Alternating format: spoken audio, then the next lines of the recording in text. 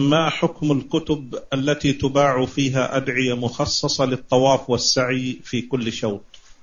لا بأس بذلك. إذا كانت هذه الكتب الأدعية التي فيها مما ورد في الكتاب والسنة أو ما يوافق الكتاب والسنة فلا بأس بذلك. لكن كون الإنسان يدعو هو بنفسه بما تيسر له ولا يصطحب هذه الكتب أحسن. أما إذا كان ما يحسن الدعاء ولا يحسن الذكر وهذه الكتب ليس فيها شيء محذور شرعا فلا بأس بذلك لكن بشرط ألا يرفع صوته يشوش على الناس يشوش على الطائفين.